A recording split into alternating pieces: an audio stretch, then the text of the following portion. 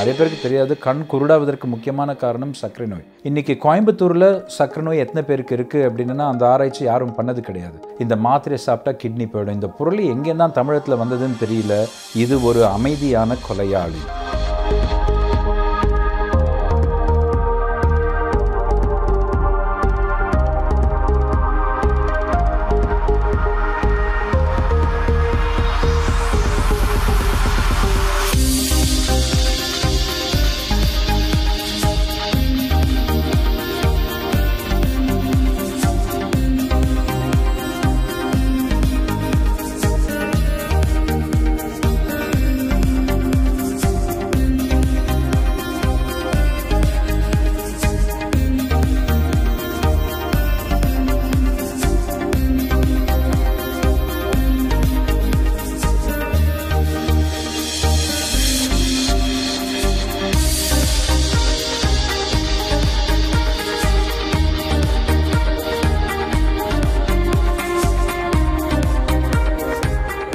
எல்லோருக்கும் வணக்கங்கள்.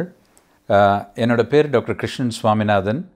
நான் இப்போ வந்து கோவை மெடிக்கல் சென்டர் ஹாஸ்பிட்டல் கேஎம்சிஎஸில் வந்து நான் சக்கரை நோய் மற்றும் சுரப்பிகள் ஸ்பெஷலிஸ்ட் நான். ஸோ என்னோடய மெயின் ஏரியா வந்து ஆப்வியஸ்லி சர்க்கரை நோய் பார்க்குறோம் இது கூட தைராய்டு ஹார்மோன்ஸ் ரிலேட்டடாக எல்லா பிரச்சனைகளும் பார்க்குறோம் உடல் பருமன் குழந்தை வளர்ச்சியின்மை ரீப்ரொடக்டிவ் எண்டக்னாலஜி ஸோ இது மாதிரி நிறைய ஹார்மோன்ஸ் ரிலேட்டடாக பார்க்குறோம் பட் எங்களோட பிரெட் அண்ட் பட்டர் வந்து சர்க்கரை நோயும் தைராய்டு பிரச்சனைகளும்.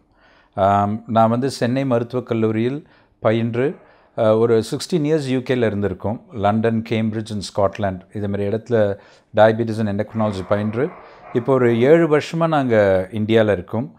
மூன்று வருடம் மறு மதுரையிலும் இப்போ ஒரு நாலு வருஷம் கோயம்புத்தூரில் கேஎம்சிஹெச்சில் இருக்குங்க மோட்டிவேஷன் அகெயின் இப்போ நாங்கள் வந்து ஃபார்மேட்டிவ் இயர்ஸ் எல்லாம் வந்து யூகேல இருந்ததுனால அங்கே எங்களுடைய கன்சல்டன்ட் எண்டக்னாலஜி கன்சல்டன்ட்டு பார்க்கும்பொழுது அண்டு uh, இந்தியாவில் பார்த்தீங்கன்னா சர்க்கரை நோய் தைராய்டு பெரும் பிரச்சனைகள். இன்றைக்கி நீங்கள் வந்து எல்லா ஹவுஸ் ஹோல்டையும் யாருக்கா ஒருத்தருக்கு சர்க்கரை நோய் இருக்குது எங்கள் அப்பாவுக்கு இருந்தது எங்கள் பாட்டிக்கு இருந்தது. ஸோ இந்த டயபெட்டிஸ் வந்து கொஞ்சம் ஃபேமிலியில் இருந்ததுனால அதில் ஆட்டோமேட்டிக்காக ஒரு பேஷன் இருந்தது. இது கூட இந்தியாவில் இருக்கிற சர்க்கரை நோயின் பேர்டன் பார்க்கும்பொழுது இந்த துறையை எடுத்தால் நம்மளால் திருப்பி நம்ம இங்கே வந்து நல்லது பண்ண முடியுங்கிற ஒரு பெரிய நினைப்பு. இது கூட சர்ஜனாக நான் இருந்திருக்கவே முடியாது. அதுக்குன்னு ஒரு டெக்ஸ்ட்ரிட்டி அண்ட் ஸ்கில் வேண்டும். ஸோ ஆட்டோமேட்டிக்கனாக ஒரு ஃபிசிஷியன் மெட்டீரியல் அதுலேயே சர்க்கரை நோய் இந்தியாவின் பேர்டன் பார்க்கும்பொழுதும் குடும்பத்தில் இருந்ததை பார்க்கும்பொழுதும் இது ஆட்டோமேட்டிக்காக இந்த துறை தான் வேண்டும் என்ற எண்ணம் வந்தது. என்னுடைய முதல் பதில் என்னவாக இருக்குன்னா இது ஒரு அமைதியான கொலையாளி.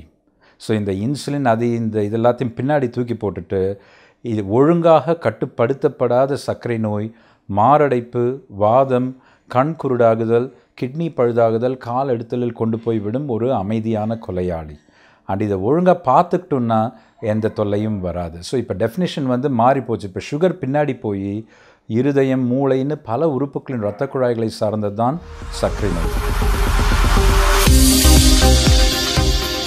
பல காரணங்கள் இருக்குது பொதுவாக நிறைய பேர் ஆச்சரியப்படுற விஷயம்னா சர்க்கரை நோயில் இத்தனை வகைகளா அப்படின்னு கேட்பாங்க. ஸோ இப்போ டைப் ஒன் டயபிட்டிஸ்னு ஒன்று இருக்குது இதை பற்றி நான் பின்னாடி பேச போகிறேன் இது குழந்தைகளுக்கும் வரும். அண்ட் நிறைய பேர் கேட்பாங்க என்ன சார் குழந்தைங்க கூடவா சுகர் வரும்? அப்படிம்பாங்க.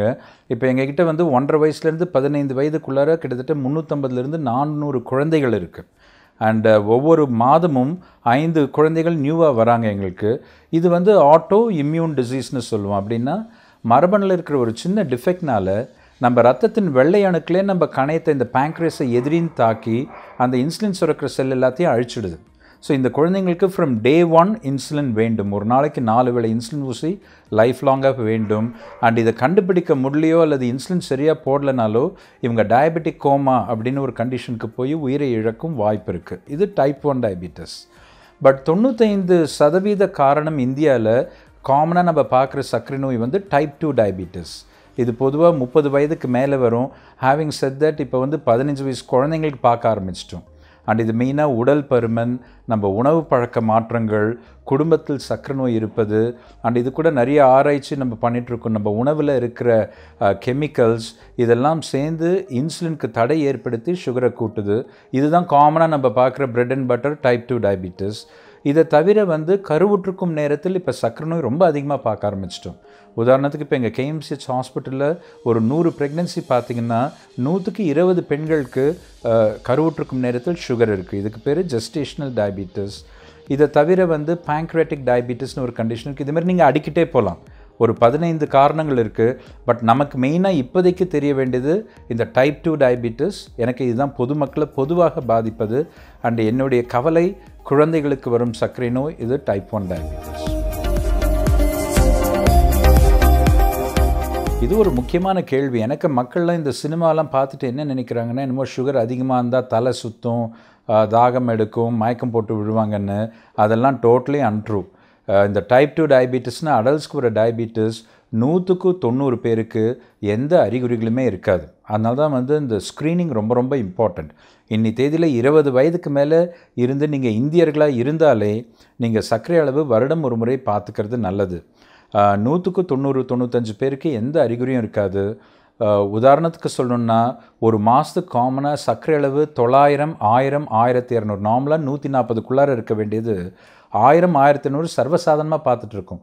எல்லாம் என்னை விட அவங்கள விட பெட்டராக நடந்து வந்து என் கூட பேசிகிட்டு இருப்பாங்க ஸோ அறிகுறிகள்னு வந்தால் எப்படி இருக்கும்னா இந்த த்ரீ பீஸ்னு சொல்வோம். பாலியூரியா பாலிஃபேஜியா அண்ட் பாலிடிப்சியா அப்படி என்றால் என்னென்னா தண்ணி தாகம் ரொம்ப அதிகமாக எடுப்பது யூரின் அடிக்கடி போகிறது ஸோ சார் நான் என்ன சார் நைட்டில் ஒரு நாலஞ்சு தடவை யூரினுக்கு போகிறேன் அப்படிம்பாங்க. அப்படி இருந்தால் அது ஒரு வார்னிங் சைன் உங்களுக்கு. உடனடியாக ஒரு சுகரை டெஸ்ட் பண்ணணுன்னு அண்ட் எடை மெலிதல். அண்ட் பசி ரொம்ப அதிகமாக எடுத்தல். அதனால் தண்ணி தாகம் அதிகமாக எடுத்தல் யூரின் அடிக்கடி போகுதல் உடல் இழைப்பு அண்ட் பசி எடுத்தல் இதெல்லாம் வந்து சுகர் ரொம்ப அதிகமாக இருக்கும் அறிகுறிகள். குழந்தைங்களுக்கு என்ன ஞாபகம் வச்சுக்கன்னா இது ரொம்ப ப்ராமினெண்ட்டாக இருக்கும். எனக்கு இவங்களுக்கு இன்சுலின் ஆரம்பத்திலே ரொம்ப ரொம்ப குறைவாக இருக்குது அதனால் பெட் வெட்டிங்னு சொல்லுவோம். ரிக்ரண்ட் பெட் வெட்டிங் நைட்டில் வந்து குழந்தை வந்து இது வரைக்கும் யூரின் பெட்டில் போகாத குழந்தை அடிக்கடி யூரினில் பெட் வெட்டிங் பண்ணிட்டு இருந்துச்சுன்னா உடனடியே ஒரு சர்க்கரை அளவை பார்க்கணும். குழந்தை திடீர்னு வெயிட் குறைஞ்சிக்கிட்டே போகுது. தண்ணி தாகம் அதிகமாக எடுக்குதுனாலும் இமீடியட்டாக சுகர் பார்க்கணும். ஏன்னா இதை பார்க்க பார்க்காம விட்டோன்னா அது டயபெட்டிக் கோமாவில் கொண்டு போய் போகும். ஆமாம் அதான் டயபெட்டிஸ் வந்து ஒரு போர்ட்டல் தான். இது உ- உள்ளவர் தான். அதனால் நிறைய பேர் இறக்கிறது வந்து சக்கரை நோயினால் கிடையாது. அதுலேருந்து வர பல உறுப்புகள் அதுலேயும் இந்த இந்த பஞ்சபூதங்கள்னு சொல்லுவேன் அஞ்சு உறுப்புகள் ஞாபகம் வச்சுக்கணும். இருதய இரத்த குழாய்கள் மூளை ரத்த குழாய்கள் அண்ட் நிறைய பேருக்கு ஆச்சரியப்படுற விஷயம் கண் திரைக்கு பின்னாடி இருக்கிற ரத்த குழாய்கள். நிறைய பேருக்கு தெரியாது கண் குருடாவதற்கு முக்கியமான காரணம் சர்க்கரை நோய். கால் எடுத்தலுக்கு இன்னைக்கு முக்கியமான காரணம் சர்க்கரை நோய். செருப்பு இல்லாமல் காலணி இல்லாமல் நடப்பது அண்ட் கிட்னி ஃபெயிலியருக்கு இது முக்கியமான காரணம். அண்ட் இது எப்படி இந்த ஆர்கன்ஸ் எல்லாம் டேமேஜ் பண்ணுதுன்னா இந்த இரத்த குழாய்களின் உள்பக்கம் வந்து விரிசல் விட ஆரம்பிச்சிட்டோம் சுகர் கூட கூட. இது வெளியே தெரியாது அதனால தான் இது சைலண்ட் கில்லர்னு சொல்கிறோம் ஆனால் அந்த விரிசல் விட்ட இடத்துல வந்து அந்த கெட்ட கொழுப்பு வந்து படிமானமாகி அது அந்தந்த இரத்த குழாயை பிளாக் பண்ணனா அந்தந்த உறுப்பு டேமேஜ் ஆகிடும் கிட்னியில் ஆனால் கிட்னி ஃபெயிலியர் ஹார்ட்டில் வந்தால் ஹார்ட் அட்டாக் ஸோ பொதுமக்களுக்கு நான் சொல்ல விரும்புகிறது இது ஏதோ சும்மா உணவு பற்றியும் உருளைக்கிழங்கு பற்றியும் மெட்ஃபாமின் மாத்திரையும் பற்றி பேசுகிற நோய் கிடையாது. இது இரத்த குழாய்களை அடைக்கும் கொலையாளி. இதை ஒழுங்காக பார்த்துக்கிட்டா எந்த தொல்லையும் வராது. அண்டு நிறைய பேர் சொல்லுவாங்க ஐயோ டாக்டர் திருப்பி ஆரம்பிச்சிட்டிங்களா? ஹார்ட் அட்டாக் ஸ்ட்ரோக்னு உங்ககிட்ட வந்தாலே பயமாக இருக்குன்னு. இது பயமுறுத்தத்துக்காக சொல்ல இது. பாசிட்டிவிட்டி என்னென்னா ஒழுங்காக கட்டுப்படுத்தினால் இந்த பிரச்சனைகளிலிருந்து நாம் விடுபடலாம். நாங்கள் சொல்கிறது என்னென்னா சக்கரை நோய் டயட்னு எதுவுமே கிடையாது. நம்ம முன்னோர்கள் உண்ட டயட் தான் சக்கரை நோய் டயட் இன்றைக்கி அதெல்லாம் நம்ம மறந்து போயிட்டோம். அதனால் போர்ஷன் சைஸஸ் ரொம்ப முக்கியம். அளவு அதிகமாக போட்டுக்கக்கூடாது சிம்பிளாக ஒரு ரெண்டு கான்செப்ட் வச்சுருக்கேன். இதை எக்ஸ்பிளைன் பண்ணுறதுக்கு. ஒன்று இந்த கை உணவியல்னு சொல்வேன். சும்மா ஹேண்டை வச்சு நம்ம சொல்லலாம். விரல் அளவுக்கு எண்ணெய். நாலஞ்சு டீஸ்பூனுக்கு மேலே எண்ணெய் வேண்டாம். இன்றைக்கி அன்ஃபார்ச்சுனேட்லி நம்ம வீட்டில் ஒவ்வொன்றும் ஒன்றரை லிட்டர் பாட்டில் தலைகீழாக கமுத்துட்ருக்கோம் நம்ம. கை அளவு சோறு. ஒரு மதிய சாப்பாட்டில் சோறு வந்து கையளவுக்கு மேலே இருக்கக்கூடாது. அண்ட் இரண்டு கை அல்லது அதற்கு மேல் காய்கறிகள். ஸோ கத்திரி வெண்டை கீரை பூசணி புடலை அவரை பாவை கோஸ் காலிஃப்ளவருக்கெலாம் அளவே கிடையாது. அண்டு நல்ல மனம் ஸோ இவ்வளோ தான் நமக்கு தேவை. விரல் அளவுக்கு எண்ணெய் கையளவு சோறு இரண்டு கைக்கு மேலே காய்கறிகள். ஸோ இதை கம்மி பண்ணாலே உங்களுக்கு பல பிரச்சனைகள் பெட்டராகும் அண்ட் இந்த ஃபைவ் டூ ஒன் ஜீரோன்னு ஒரு கான்செப்ட் வச்சுருக்கேன். அதாவது ஐந்து என்றால் ஐந்து வகையான கலரான காய்கறிகளும் பழங்களும் ஒரு நாளைக்கு. இதில் ரெண்டு கலர் பழங்களும் மூன்று காய்கறிகளும். இரண்டு என்றால் இரண்டு மணி நேரத்துக்கு குறைவாக டெலிவிஷன் கம்ப்யூட்டர் வாட்ஸ்அப் இன்டர்நெட் இதெல்லாம் பார்க்குறது. ஏன்னா நிறைய ஸ்டடீஸ் என்ன சொல்லுதுன்னா டூ ஹவர்ஸ்க்கு மேலே நீங்கள் சிஸ்டம்ஸ் முன்னாடி இதோ உக்காந்துன்னா இன்வேரியபிளி நம்ம முறுக்கு மிக்சரு சிப்ஸ்னு குறிக்க ஆரம்பிப்போம் நம்ம. அண்ட் இது வந்து செடென்ட்ரி லைஃப் ஸ்டைலும் டயபிட்டிஸ் வரும் வாய்ப்பும் இன்க்ரீஸ் பண்ணுது. ஒன் அப்படின்னா one hour of brisk walking every day so ஒன்றும் பெரிய போய் அந்த ஜிம்னாஸ்டிக்ஸ் அதெல்லாம் பண்ண வேணாம். ஒரு மணி நேரம் நல்ல நடை நல்ல வேர்த்து கொட்டும் நடை வந்தால் போதும். And zero indicate zero fruit juices and fizzy drinks so இந்த ஃபைவ் டு ஒன் ஜீரோங்கிறது ரொம்ப ஒரு இயல்பான ஈஸியாக எல்லாரும் அடாப்ட் பண்ணக்கூடிய கான்செப்ட் ஒரு காரணம் வந்து வெளிநாடுகள் யூகேயில் நாங்கள் சிக்ஸ்டீன் இயர்ஸ் இருந்து we we could as well have continued இந்த யூகே நாங்களாம் ஃபுல் டைம் கன்சல்டன்ட் ஜாபில் இருந்தவங்க. இங்கே வரணுங்கிற துடிப்புக்கு காரணம் என்னென்னா இங்கே வந்து நம்மளால் ஒரு மாற்றம் பண்ண முடியும் அப்படிங்கிற ஒரே நினைப்பு தான். எனக்கு அந்த விதத்தில் டாக்டர்ஸ் ஷுட் ஸ்டெப் அப் அதனால் அந்த சோஷியல் ரெஸ்பான்சிபிலிட்டி வந்து மருத்துவர்களுக்கு ரொம்ப ரொம்ப அதிகமாக இருக்கணும்னு நினைக்கிறேன். எனக்கு அன்றாடம் மக்கள் படும் ரத்த இரத்த கண்ணீரை நாங்கள் பார்த்து கொண்டிருக்கிறோம். அண்ட் இதற்கு வந்து நானும் போனேன் என் வேலையை பண்ண ஒரு நாற்பது பேஷண்ட்டை பார்த்தேங்கிறத தாண்டி நம்ம இந்த சொசைட்டிக்கு ஏதாவது பண்ணி ஆகணும் அதில் வந்து என்னுடைய பர்சனல் முயற்சி என்னுடையதுன்னு சொல்கிறத விட எங்கள் டீம் எனக்கு இண்டிவிஜுவலாக எதுவும் பண்ண முடியாது. இது எங்கள் சேரிட்டபிள் ட்ரஸ்ட் ஒரு டூ தௌசண்ட் ஃபோரில் வந்து ஒரு நான்கு சென்னை மருத்துவக் கல்லூரி நண்பர்கள் நாங்கள் ஒரு ஒரு ஈவினிங் மீட்டிங்கில் பேசிகிட்டு இருந்தோம். நம்ம வந்து சென்னை மருத்துவக் கல்லூரியில் படிச்சுட்டு அப்போ நீங்கள் நம்ப மாட்டீங்க. ஒரு செமஸ்டர் ஃபீஸ் ஒரு மெடிக்கல் காலேஜுக்கு நானூறுரூபா. நம்மளை வந்து இன்றைக்கி ஒரு பெரிய டாக்டரை உருவாக்கி யூகேயில் நம்ம உக்காந்துக்கிட்டு இந்தியாவுக்கு போய் இந்த நாடு சரியில்லை ரோடு சரியில்லை மக்கள் சரியில்லைன்னு சொல்லிட்டு வரதில் புண்ணியமே கிடையாது. You got to do something பேக்னு நினச்சி ஒரு சிறிய முயற்சி ஆரம்பித்து தான் இதயங்கள் சேரிட்டபிள் ட்ரஸ்ட் ஒரு செவன் இயர்ஸில் நான் இந்தியாவுக்கு வரும்பொழுது டிசால்வ் பண்ணும்பொழுது அரௌண்ட் ஒரு eighty lakhs worth of projects throughout India பண்ணியிருந்தோம். அண்ட் எல்லாம் சிறு சிறு விஷயங்கள் எங்கெங்கெல்லாம் ஒரு உதவி தேவை அதுவும் குழந்தைகள். குழந்தைகள் நலம் ரிலேட்டடாக யார் யார் கஷ்டப்படுறாங்களோ பண்ணியிருந்தோம்.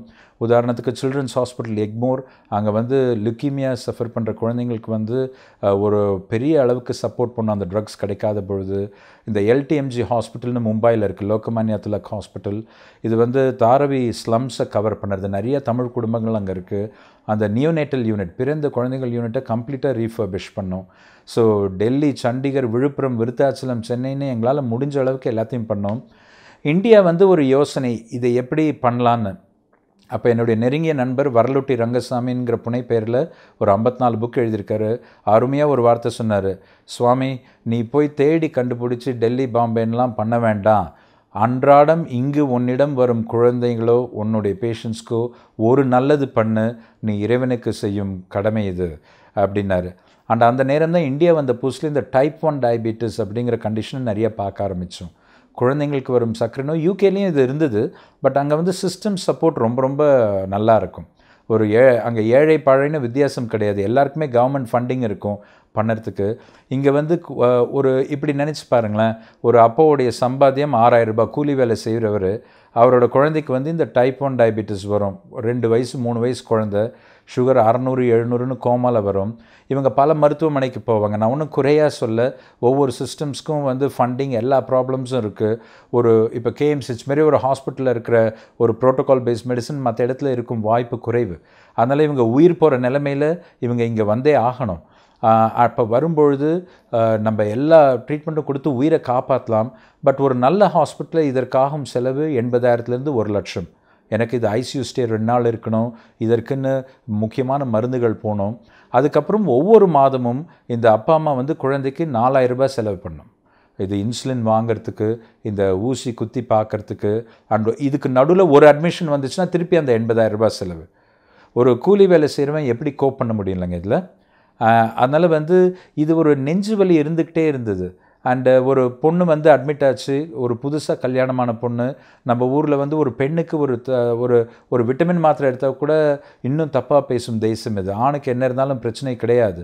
ஆனால் அந்த பெண் வந்து இன்சுலின் போட்டேன்னு சொன்னால் கல்யாணம் பண்ணிக்க மாட்டாங்க. அண்டு போடலன்னு சொல்லி மறைச்சுன்னா அதுவும் பிரச்சனையாயிடுது. அண்ட் அன்ஃபார்ச்சுனேட்லி அந்த பெண்ணை நாங்கள் எழுந்துட்டோம் அது வந்து சூசைட் பண்ணிக்கிச்சு. அதனால் இந்த வெறி தான் இந்த இதயங்கள் சேரிட்டபிள் ட்ரஸ்ட்னு ஒன்று ஆரம்பித்தோம் எங்களுடைய கனவு என்னென்னா இங்கு வந்து தமிழ்நாட்டில் இந்தியாவில் ஒரு டைப் ஒன் டயபிட்டிஸ் ஏழை குழந்தை கூட பணத்திற்காகவோ மாரல் சப்போர்ட்காகவோ கஷ்டப்படவோ இறக்கவோ கூடாது. அதுதான் எங்கள் கனவு. அதனால தான் அப்துல் கலாம் ஐயா அருமையாக சொன்னார் கனவுகள் தூக்கத்தில் வருவதில்லை.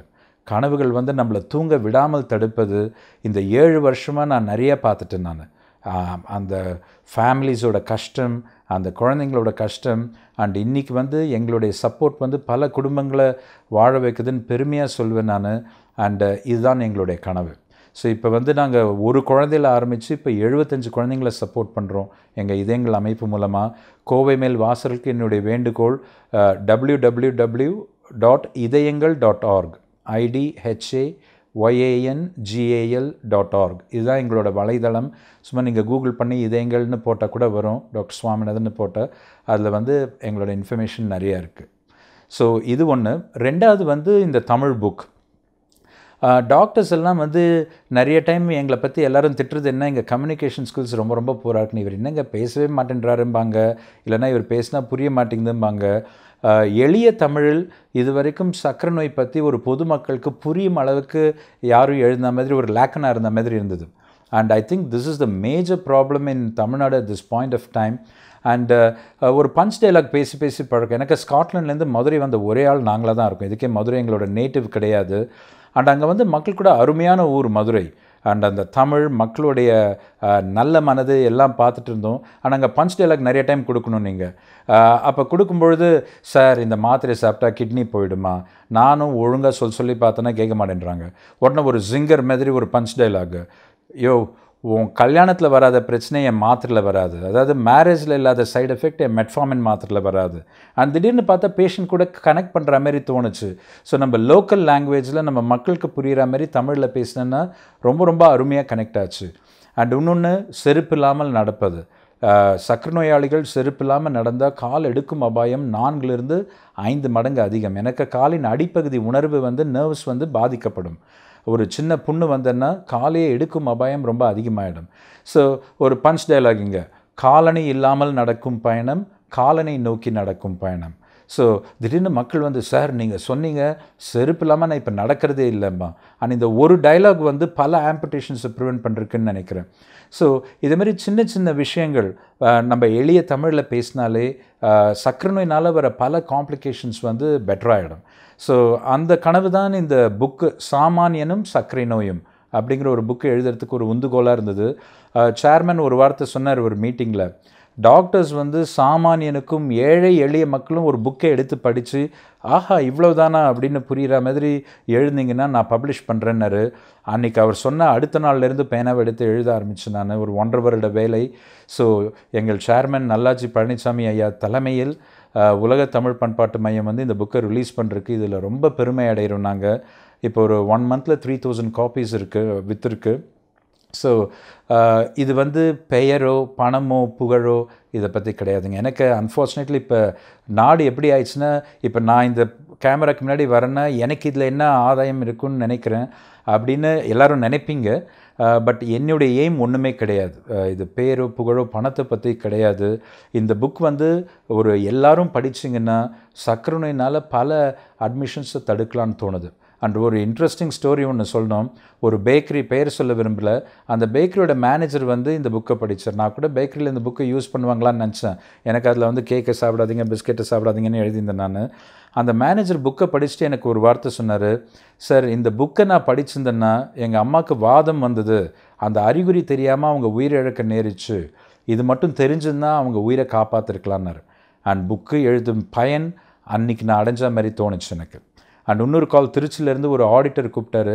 அவரோட பிரதர்ஸ் டாக்டருக்கு டைப் ஒன் டயபிட்டிஸ் இருக்குது கல்யாணத்துக்கு பார்த்துட்டு இருக்காங்க. ஏதோ ஒரு ஒன்று ரெண்டு டா டாக்டர்ஸ் பார்த்துட்டு உங்கள் பொண்ணுக்கெலாம் கல்யாணம்லாம் பண்ணக்கூடாதுன்னாங்க. அண்ட் எங்கள் புக்கில் வந்து டைப் ஒன் டயபிட்டிஸ் பற்றி எழுதியிருக்கோம். அதில் என்ன எழுதியிருக்குன்னா கனவு காணுங்கள். டைப் ஒன் டயபிட்டிஸ் இருக்கிறதுனால உங்கள் பர்சனல் லைஃப்க்கோ ப்ரொஃபஷனல் லைஃப்க்கோ மேரிட் லைஃப்க்கோ எந்த பிரச்சனையும் கிடையாதுன்னு எழுதி பல கதைகள் அதில் எழுதியிருந்தோம். இப்போ ஒரு ஆறு ப்ரெக்னன்சிஸ் டைப் ஒன் டயபிட்டிஸில் இப்போ நாங்கள் பார்த்துருக்கோம் இந்த சிக்ஸ் மந்த்ஸில் அண்ட் அவர் பார்த்துட்டு கூப்பிட்டது என்னென்னா இந்த புக் படித்து எங்கள் குடும்பத்துக்கு ஒரு விடிவு காலம் வந்தது. அண்ட் இப்போ இன்னும் தெம்பாக இருக்குன்னாரு ஸோ இதெல்லாம் ஜஸ்ட்டு சின்ன சின்ன கதைகள். பட் உங்களால் முடிந்தால் அதனால தான் அந்த ப்ரைஸிங் வந்து நூறுரூபான்னு வச்சுருக்கோம். இன்றைக்கி வந்து நீங்கள் போய் ஒரு ரெண்டு பேர் ஒரு காஃபி குடிச்சிங்கன்னா நூற்றம்பது ரூபாய் ஆகும். ஒரு நூறுரூபாய்க்கு ஒரு புக்கு இதிலிருந்து பத்து ரூபாய் தான் எங்களுடைய லாபம். அது நேராக எங்களுடைய இதயங்கள் சேரிட்டபிள் ட்ரஸ்ட்டுக்கு தான் போகுது. ஸோ உங்களால் முடிந்தால் நீங்களும் உங்கள் குடும்பமும் உங்கள் நண்பர்களுக்கும் இதை கொடுக்குமாறு கேட்டுக்கொள்கிறோம். ஸோ ரெண்டு ஏரியா கேட்டிங்க. கொஞ்சம் பெருசாக சொல்லியிருக்கேன் ஒன்று எங்கள் இதயங்கள் சேரிட்டபிள் ட்ரஸ்ட் இன்னொன்று என்னுடைய புக் கண்டிப்பாக அதாவது இப்போ நாங்கள் வந்து மெயினாக இப்போ கோயம்புத்தூர் அட்ஜானிங் ஏரியாஸ் இப்போ எங்களோட குழந்தைகள் மாயூரம் திருச்சி வரைக்கும் இருக்குது எங்களோட ட்ரீம் வந்து இந்தியாவில் இந்த முதல் வகை சர்க்கரை நோய் குழந்தைகளுக்கு வரும் சர்க்கரை நோயில் நாங்கள் we want to be the best charity for type and diabetes in India India முழுக்க எந்த ஒரு ஏழை குழந்தையும் இந்த பிரச்சனையால் கவலைப்படக்கூடாது. பட் இது மட்டும் நோக்கம் இல்லை எங்களுக்கு. எனக்கு இது ரொம்ப ரியாக்டிவ் நோய் வருது நம்ம ட்ரீட் பண்ணுறோம் இதை தாண்டி ஆக்டிவ் ரிசர்ச் பண்ணிகிட்ருக்கோம் இது எதனால் இந்த டைப் ஒன் டயபிட்டிஸ் அதிகமாக இருக்குது டாக்டர்ஸ் குழந்தை இப்போ சிக்ஸ் மந்த்ஸ் பேக் ஒரு டாக்டர்ஸ் ஃபேமிலி குழந்தை வந்திருக்கு. இது யார் குழந்தையாக வேணால் இருக்கலாம். அதனால் வந்து கொஞ்சம் பெரிய ரெப்யூட்டட் இன்ஸ்டியூஷன்ஸ் கூட நாங்கள் ஒர்க் பண்ணிகிட்ருக்கோம் இதில் ஏதாவது நியூ டெக்னாலஜி ஸ்டெம் செல் இதெல்லாம் வச்சு டைப் ஒன் டயபிட்டிஸ்க்கு ஒரு க்யூர் கண்டுபிடிக்க முடியுமாங்கிற ஒரு யோசனையிலையும் இருக்கும். அண்ட் மதுரை காமராஜ் யூனிவர்சிட்டி கூட இணைந்து மரபணுக்கள் ரீதியாக இதில் என்ன மாற்றம் வருதுங்கிறது பெரிய ஸ்டடீஸ் பண்ணிருக்கோம். இது கூட கெமிக்கல்ஸ் இன் ஃபுட் வாட்டர் இந்த ஏரியாவும் ரிசர்ச் பண்ணிகிட்ருக்கோம் ஸோ ஒரு யூனி டைமென்ஷனலாக இல்லை இது. பல கோணங்கள் இருக்குது இதில். ஒன்று ஏழை எளிய எளிய குழந்தைங்களுக்கும் அவங்க பேரண்ட்ஸ்க்கும் எங்களால் முடிஞ்ச சப்போர்ட் ரெண்டாவது இந்த இன்சுலின் பம்ப்னு ஒரு சாதனம் இருக்குது இது வந்து ஒன்றரை லட்சம் ஒரு சாதனம். இவங்க வாழ்க்கையை மாற்றிடும் எல்லாத்துமே பட்டன்லேயே பண்ணலாம். அது வந்து ஒரு இருபத்தஞ்சு குழந்தைங்களுக்கு. So we want technology to reach the poorest of the poor நம்மளோட இது என்னென்னா டெக்னாலஜி இன்னும் ரிச்சுக்குன்னு நினச்சிட்டு இருக்கோம் இப்போ எங்களோட தாராபுரம் தாண்டி பழனி தாண்டி இருக்கிற ஒரு ஏழை குழந்தை கூட இன்சுலின் பம்பில் இருக்குது சுகர்ஸ் ஃபென்டாஸ்டிக் கண்ட்ரோலில் இருக்குது மூன்றாவது பெண்கள் டைப் ஒன் டயபிட்டிஸ்க்கு எஜுகேஷன் இப்போ school and college education support பண்ணிருக்கோம்.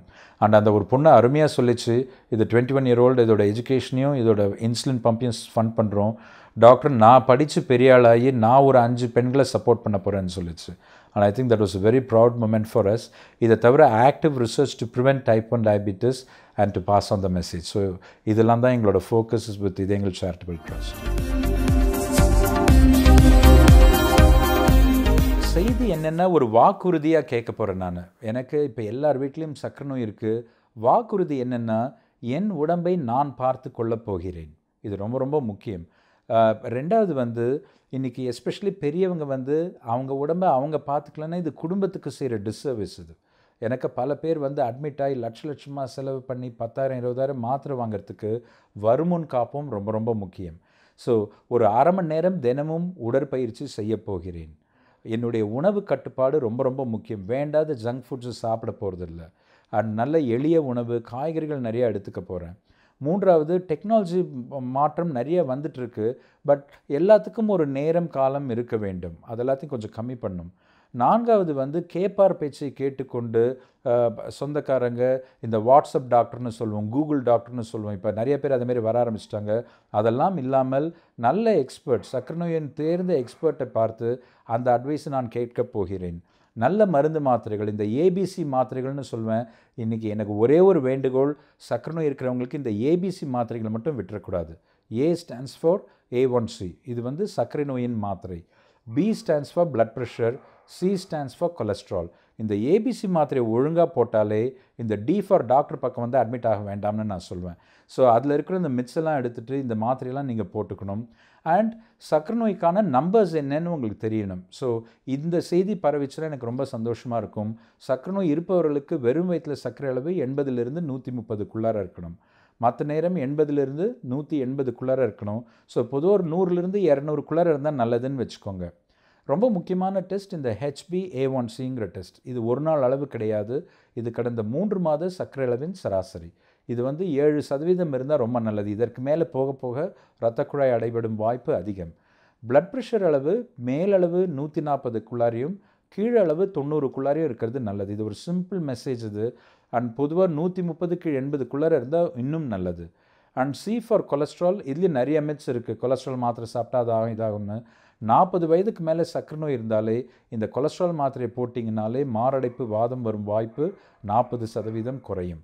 ஸோ இந்த ஏபிசி மெசேஜ் மட்டும் நீங்கள் ஞாபகம் வச்சுக்கிட்டு இந்த முக்கியமான சக்கரை நோய் நம்பர்ஸையும் ஞாபகம் வச்சுக்கிட்டாலே பல பிரச்சனைகள் குறையும். அண்ட் இந்த மெசேஜை நீங்கள் ஒரு பத்து ஃப்ரெண்ட்ஸ்க்கும் சொந்தக்காரனுக்கும் சொன்னீங்கனாலே எனக்கு பர்சனலாக இந்த பேட்டி கொடுப்பதில் ரொம்ப ரொம்ப சந்தோஷமாக இருக்கும். Thank you thank you